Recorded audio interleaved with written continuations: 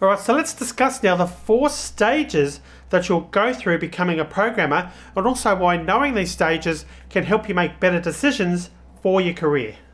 This video is brought to you by the Learn Programming Academy's Windows Presentation Foundation course. Master Windows Presentation Foundation, or WPF, and learn how to create applications with a rich user interface. Leverage WPF with C Sharp and XAML to build real-world skills with Azure, REST, MVVM, and machine learning. Visit lpa.dev slash YouTube WPF or click on the link in the description below.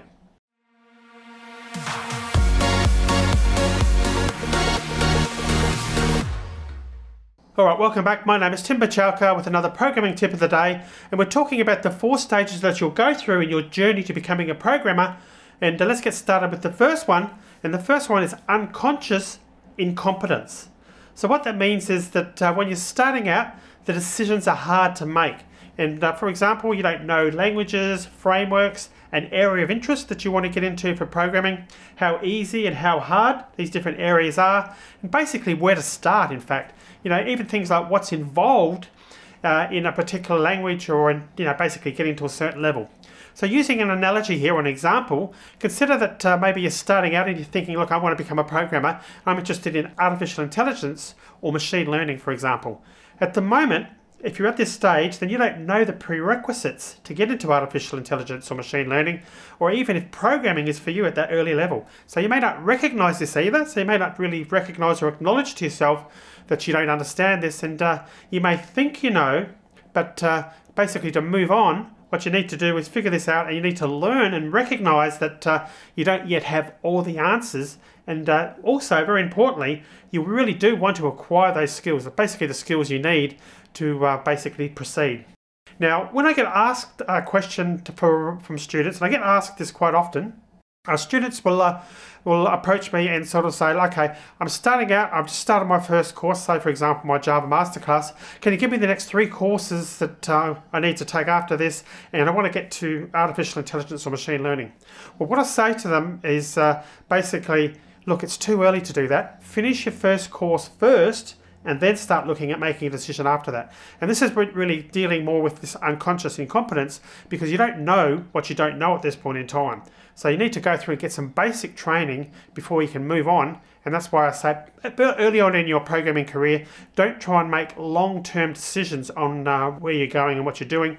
Focus on the basics. In this particular case, would be learning a programming language. All right, so that's the first stage that you'll go through. The next one is what I call conscious, or what's called conscious incompetence. Now here, you've, you've taken yourself to the next level. You now know and recognize that you have the skills you need to become a programmer or to get into that specific area of interest, but also you've got a real want. You really want to acquire these skills and you've recognized that there's a value there for you to learn these new skills. That's really important that uh, you sort of acknowledging to yourself, okay, I haven't got these skills, I've got a lot to learn, but uh, I want them. Uh, you know, you're really saying to yourself, I really want to learn these skills. So basically you're acknowledging to yourself you don't yet have the skills or you don't you really don't at this point in time. And during this process when you acknowledge that you're going to start programming and uh, learning and you're going to make tons of mistakes. And basically making tons of mistakes and getting frustrated and uh, you know wanting to give up this is all an integral part of this stage. And uh, let's use an example here and equate it back to programming so it makes sense.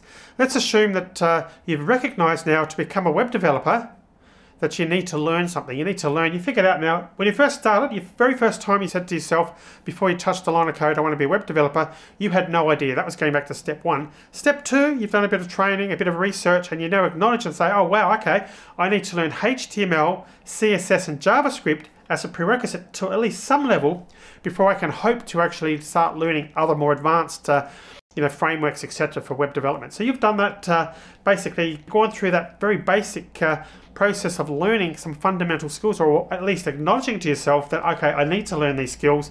And uh, you're sort of saying, look, I haven't got those skills, but I'm prepared to learn it. So Basically what I'm saying there is that there's a process to go through and here you're acknowledging to yourself that you do want to do it, you've done some research, you figured out, uh, in this case in that example, HTML, CSS and JavaScript would be three core skills used uh, typically by web developers and you can make a start on that. So basically you're recognizing now that you need to understand those uh, three core skills, but also more importantly, the value of doing this, why you're doing this, and uh, you know you've, you've made a decision to yourself to go ahead and do it.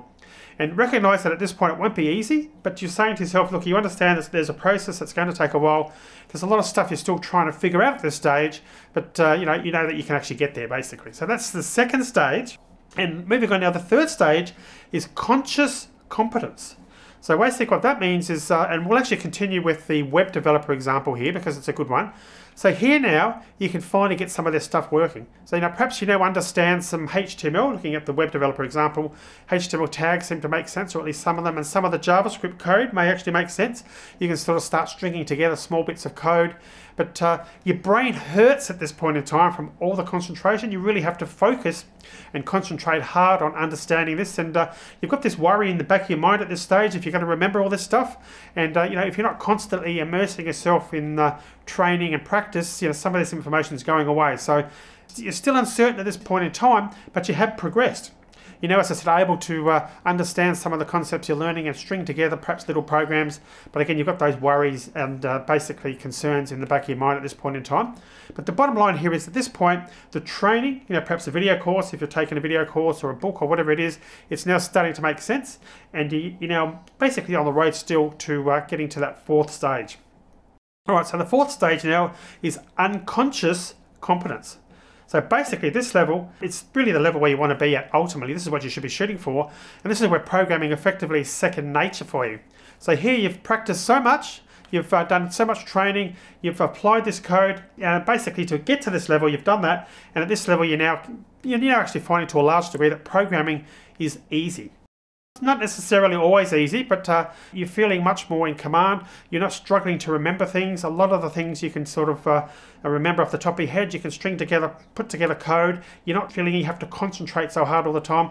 Things are coming to you automatically. So as you're typing code, for example, you're thinking, okay, which algorithm do I need to use here? And it's coming to you. So you're understanding that. So you're even maybe at this stage where you feel that you're even at the level now where at least for some things you feel you could teach this material to other people.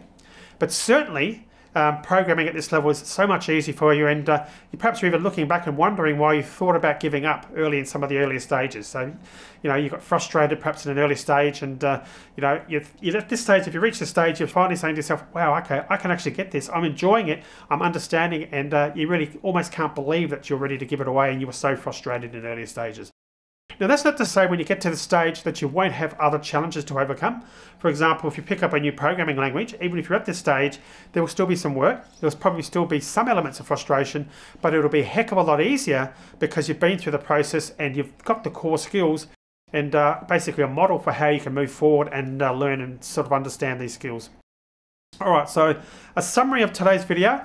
Keep at it, Make a commitment to persist with your training and your practice and know ahead of time that when you're entering this journey, there's going to be ups and downs. I also suggest you practice and study regularly.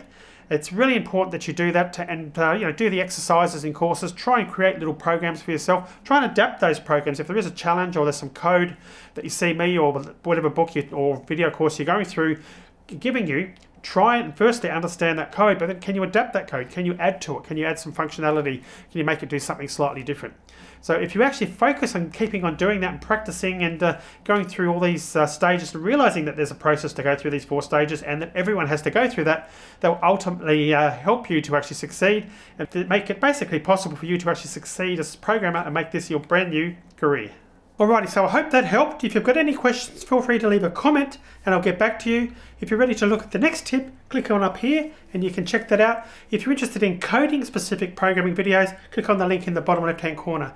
Consider subscribing by clicking on the link up here and I'll see you soon.